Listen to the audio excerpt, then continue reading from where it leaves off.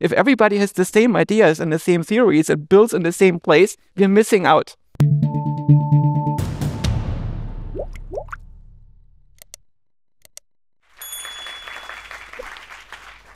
Thank you, everyone, and a very warm welcome to you on this beautiful day. Um, if we believe the headlines, quantum computing is going to revolutionize the world. It has attracted tens of billions of dollars in investment involving the largest global tech companies. But some leading scientists are arguing it is little more than a hoax. Quantum computers, they claim, have fundamental problems that show no sign of being addressed or in principle of being solvable. The technology relies on qubits, only a handful have ever been made, and they need to operate barely above absolute zero, and cohere, they cohere for a mere 50 microseconds. No result, they claim, has been calculated that is of any practical consequence. Should we recognize that few understand quantum buzzwords like entanglement and superposition, so that even the sophisticated are at risk of being taken in by hype. Should funders, investments, and governments be highly skeptical of quantum vocabulary, along with the rest of us when reading articles promoting a quantum future? Or are these skeptical challenges to the quantum world a threat to a vital breakthrough that risk undermining funding and allowing others, including China, to take a global lead? So, on to our speakers. Joscha Bach is a cognitive scientist and AI researcher for MIT Media Lab and the Harvard Program for Evolutionary Dynamics. He's the mind behind MicroPsi, a cognitive architecture which describes the interaction of emotion, motivation, and cognition of situated agents. Ruth Oulton is a photonics expert Professor of Photonics and EPRC Quantum Technologies Fellow at the Quantum Engineering Technology Labs at the University of Bristol. And Dominic Wall- Walliman is a science writer, quantum physicist, and YouTube sensation. he writes the award winning Professor Astro Cat Science Books for Children.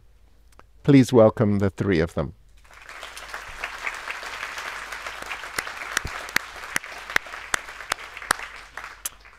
Okay, so uh, I'm going to let each of them give uh, their three minute overview about uh, the quantum hoax. So let's start with Joscha. Hmm. In the late 90s, uh, Danny Hillis wrote a wonderful book about computation. It's called The Pattern on the Stone. It's a very nice monograph that I used in class. And uh, everything in this book has aged exceptionally well including the chapter about quantum computing, which is just around the corner 25 years ago. And uh, I wouldn't say that uh, quantum computing is a hoax, but it is an extremely bold proposal. Right? It's uh, the proposal that we can achieve something that nature hasn't done, that we're able to build something that is computing polynomially faster than any kind of classical process if you look at the computers that we are building today, that we're using, if you look at our brains and all the interactions that we can observe in nature, they're all made of dynamics that we can describe as the interaction of particles or something equivalent. And um, quantum computing suggests that we can go below this level of the particle universe and tap directly into the CPU of the universe, and that the CPU of the universe is running much, much faster than uh, the particle dynamics that we are seeing and that we are made of. Right? So it's an extremely bold proposal that is being made, and it's so complex that relatively few people actually understand its implications. And um, in the past, some of the people who saw the implications said there might be a possibility to bi- basically bypass the particle universe with some arcane technology and build computers that are dramatically faster for some applications at least. And this is an extremely bold statement and it consists of two parts. One is we can build a non-local machine, which has been built, right? You were involved in D-Wave. And uh, the other one is hypercomputation. It really makes, uh, it's about building something that is able to compute faster than a classical computer. And this might not be possible. But, uh, or if it is po uh, possible, it might still not imply that the Church Turing thesis, uh, the computer science statement that all computers have basically the same power, just differ in memory that they have and processing speed, this will probably not be broken. Right? And there's the question Does quantum computing make the claim that it breaks this? Is quantum computing in part based on some faulty part of physics? Because the physicists have checked out the code base from the mathematicians uh, before Gödel happened and before mathematics was forced to become constructive. So maybe there are some specifications in the mathematics that we use to describe quantum mechanics that lead, uh, give rise to hopes that we can build computers that cannot be built. And to me, it's very, very exciting to observe these developments because there are open metaphysical questions to be answered and whether this is being built. With respect to the practical uh, implications of funding, uh, a large amount of funding that was be made available as part of the stimulus packages during COVID and so on. And uh, I found that when I talked to some of these companies, that the people in these companies did not actually understand how to build a quantum computer, which was very frightening to me. They did not understand the underlying physics. They were hoping that we have this physicist, our company, who's going to f- figure this out for us. but we are all building this amazing machine that's all going to make us rich if it ever works. Right? So it's a lot like crypto. And uh, Maybe this is enough as a start. My three minutes are over. All right. Thank you very much. Uh, let's go to Ruth. Okay, that's a good starting point. So I think we're here to discuss the hype about quantum computing. And I'm a researcher that's been working on this topic for the past sort of 20 years. And even I would say that, yes, quantum computing is somewhat hyped, but actually, I'm not too bothered about it. And that's because all emerging technologies, all disruptive technologies, undergo a very well known hype cycle where there's a lot of enthusiasm, a lot of investment, it goes up, and then disillusionment when it doesn't immediately come to fruition. And then the winning technologies tend to be invested in long term, and you see a kind of slow recovery, and these become mature technologies. So this has already happened with AI, and quantum computing is somewhere along that curve, and it's what we expect actually. There is some some um, questionable journalism sometimes about the claims around quantum computing, most actual um, scientists working on it are actually much more circumspect. But really, there's some there is some hype, and, and we do admit that. So why invest all this money in quantum computing if you don't even know it's going to work? Well, what we're actually doing is investing in computing.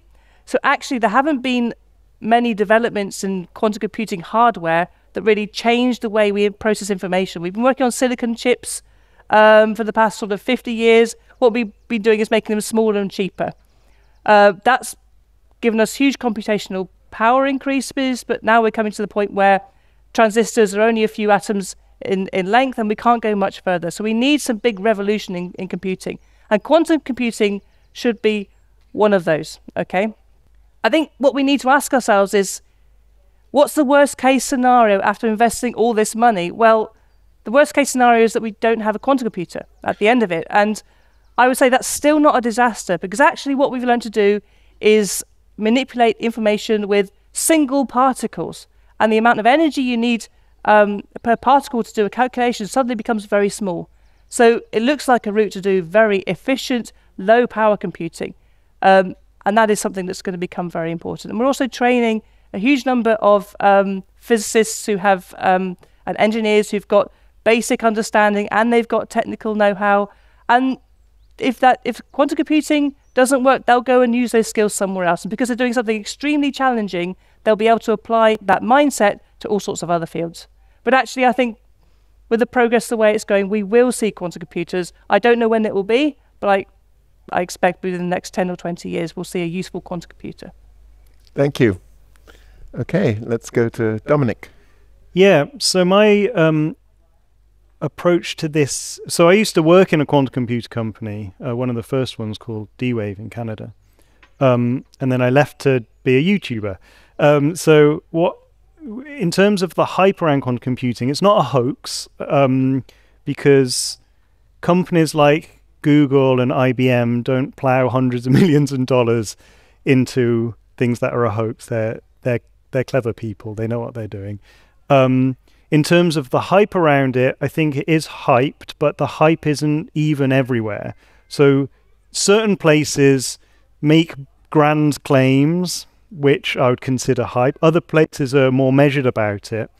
And what I try and do on my YouTube channel is to have a sober, measured um, communication about uh, quantum computing to to give people as many tools as they can to critically analyze the claims that come out.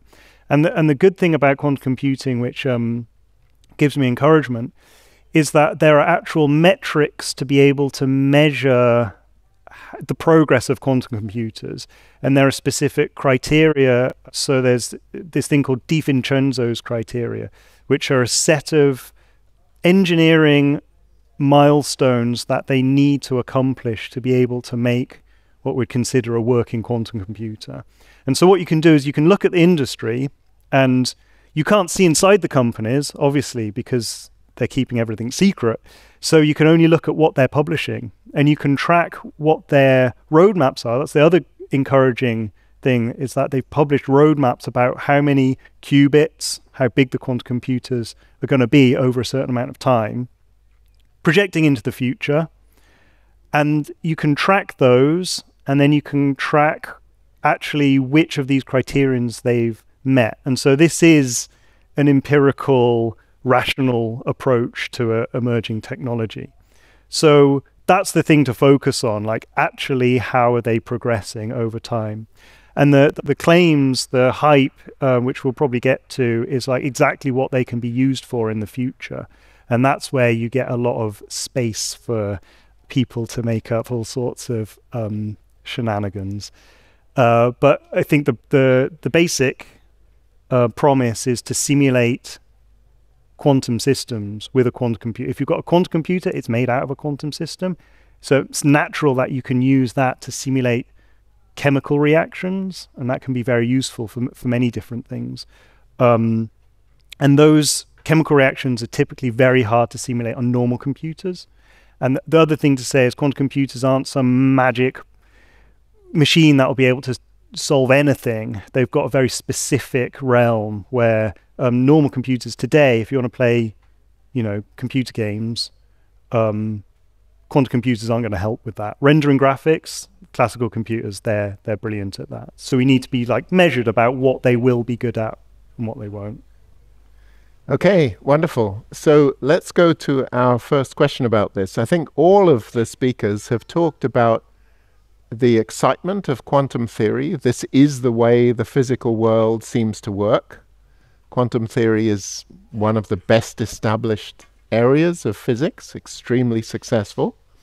But uh, what that very success of quantum physics has uh, led to this um, or supported this hype that quantum physics is now going to produce a totally spectacular computer that is going to dramatically supersede you know anything we've seen so far.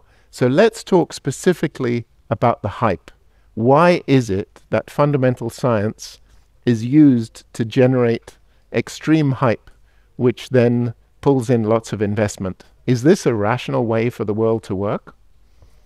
So first of all, I don't think that there is so much of a hype about quantum computing outside of very narrow circles.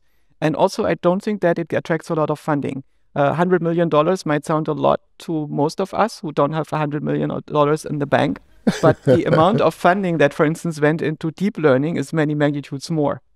And if quantum computing would ever work, it would be a trillion dollar industry. If uh, Google is not putting many billions of dollars into quantum computing, it believes that uh, means Google doesn't believe that quantum computing is going to work near term in a scalable way.